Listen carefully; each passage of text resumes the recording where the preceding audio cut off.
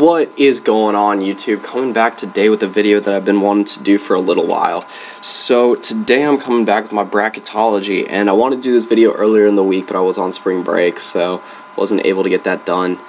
Um, but today I'm able to come back with my predictions for the round of round of 32 and the bracket I'm looking at right now is obviously not mine. It's the best one left in the country right now and this guy has pretty much everything right except for Michigan State. And looking at this guy's bracket, I believe it's Trent J. Yeah, he made a couple, and um, yeah, really has all these right. And um, except for the Michigan State one, obviously, I think that one was the biggest killer, and then West Virginia also killed a lot of people too. But let's go over to my bracket, and um, I'm about right in the middle of the pack. Uh, had a few of them right. The Arizona loss really hurt me. The Cal loss really hurt me also. And so did the Michigan State. West Virginia, I don't think hurt me too bad. Um, let me find West Virginia. I believe they're up here in the corner. Yeah, because I had them losing to Notre Dame. So if Notre Dame's able to win, I believe tomorrow, then that'll help me out. But get into the main part of this video, which is my round of 32 predictions. And uh, one of the games is already over, Miami and Wichita State. I got a good start to the day. Uh, Duke, Yale, right now it is 54-45, Duke over Yale. So right now it's looking like that'll be able to hold strong. Um, and then moving to the, the rest of my predictions. So I've got Kentucky over Indiana. Um, Indiana was able to get a big win against um, Chattanooga, and Kentucky was able to beat Stony Brook. Both those uh, games were in the round of 64. Uh, I've got Iowa State over UALR, uh, Arkansas Little Rock able, able to get a big win over Purdue, um, win that screwed up a lot of people's brackets as well.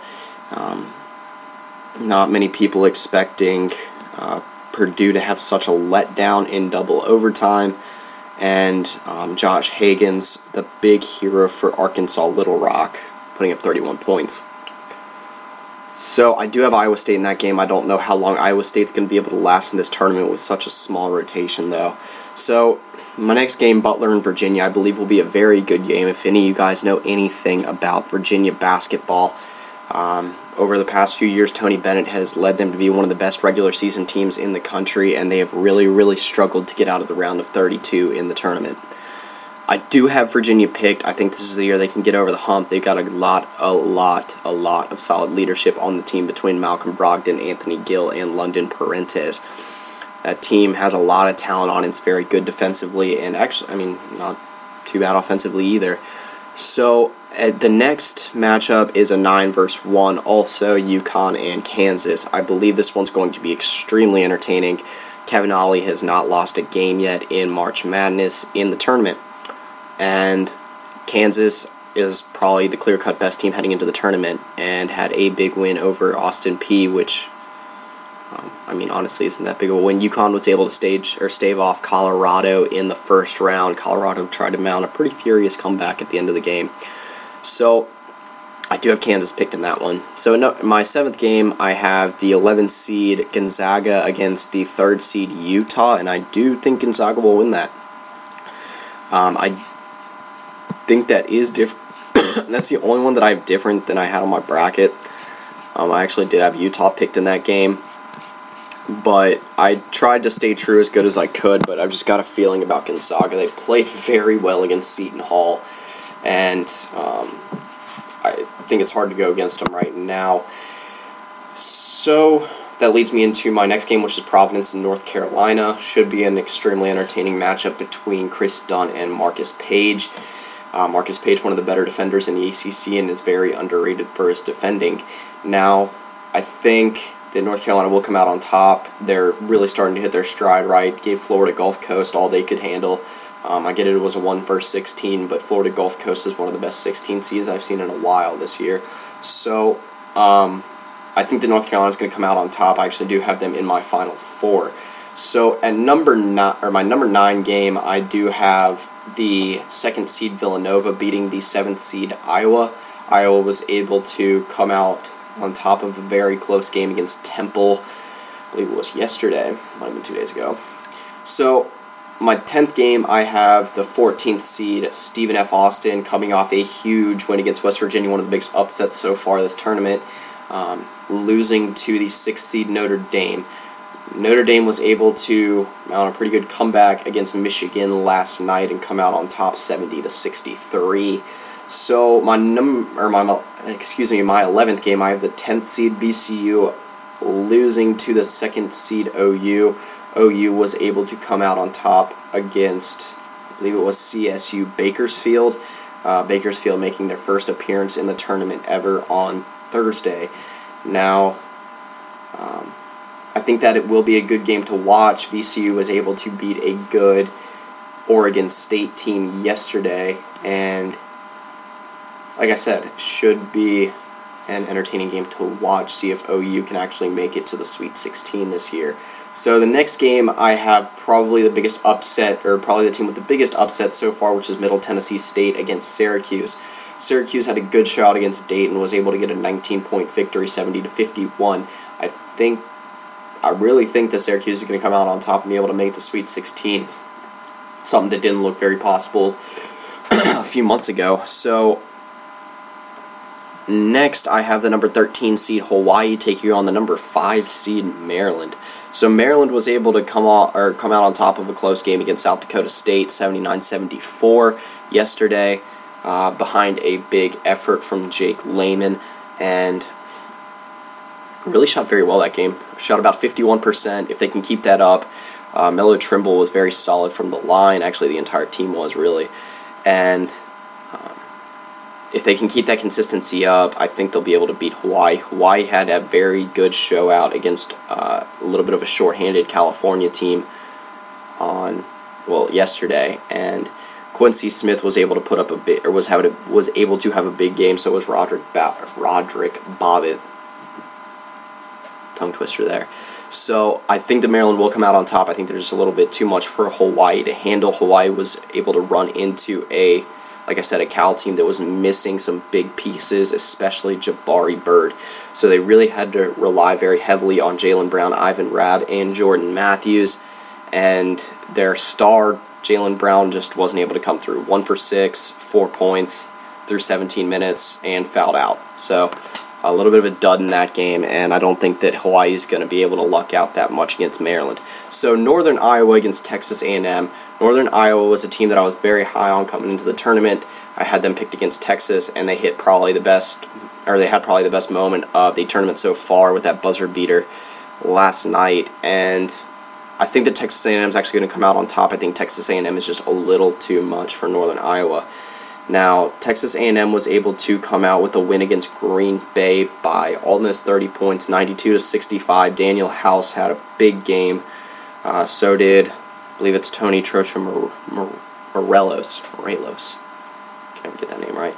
So, um, I, like I said, I just think that Texas A&M is just going to be a little too much for Northern Iowa to handle. It will be a good game, though. Definitely one to watch. Now, Wisconsin versus Xavier, one of the best games of the day tomorrow, in my opinion. Now, Wisconsin was able to have, I believe they were in the lowest scoring game of the tournament so far, 47 to 43 victory against Pitt. Um, just a pretty horrendous shooting game. Both teams shot below 40%. Uh, Wisconsin was able to take advantage of a few Pitt turnovers and was able to get a decent game from Ethan Happ, while their two stars, Bronson Koenig and Nigel Hayes, struggled quite a bit shooting. I believe a combined um, 4 of 25. So if that improves, then Xavier will have a tough game. And Xavier was really able to put up a good effort in the first round against Weber State with almost a 20 point victory, 71 to 53. So my last game to predict is Oregon and St. Joseph's, the 1 versus 8 seed. St. Joe's was able to get a good win against Cincy. I believe that was last night also. Yep, 78 to 76. One of the most exciting games again of the tournament so far. Um, there was a dunk that Cincinnati had at the end of the game that I believe was not allowed. Um, they St. Joe's was able to get an extremely good game from one of the bigger, um, for one of the biggest underrated players in college basketball, DeAndre Bembry, and I think that this game will be able to put it put him into the spotlight a little bit more for the NBA draft. I think that he will be one of the more underrated players in this draft. All right, so one last thing I want to do before I end the video, and um, I just wanted to show you guys my Final Four. Uh, thank God it is still intact. I have Kansas OU and then UNC UVA. A Final Four that I believe can stay intact. Uh, looking at their paths for the rest of the tournament, Kansas will have a tough game to, or today against UConn. There might that might be their toughest test until the tournament. Now they're probably if they do make it that far, they're going to run into Miami. Most likely, they're probably going to run into Maryland as well. So games that are definitely manageable but not easy. Now, if OU makes it, they will have to go through a pretty tough schedule of probably Texas A&M and Duke, and then well either Duke or Oregon. So not easy there, but definitely uh, something they'd be able to do.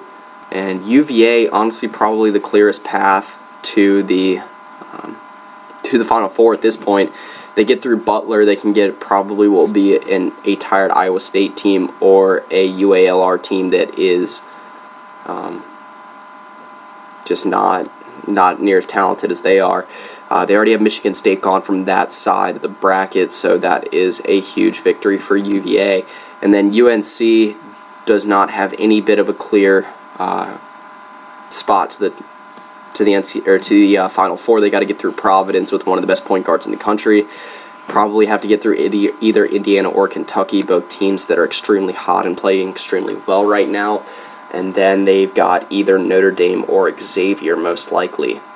So, you know, and then in my championship, I have Kansas over UVA 71 68. Like I said, I think UVA does have the clearest path to the national championship. Um, have the two best teams from the ACC in one side and the two best teams from the Big 12, which amount to the two best conferences in college basketball. I think that would be an extremely entertaining Final Four. But that does it for my bracketology. I will be coming back with my Sweet 16 picks and update you guys with my bracket as we go along. And then when the Sweet 16, or Sweet 16 rolls around, I will do my, uh, see if I can find it here, nope, second chance bracket. Uh, to basically start from the Sweet 16. So yeah, that's pretty much it. So yeah.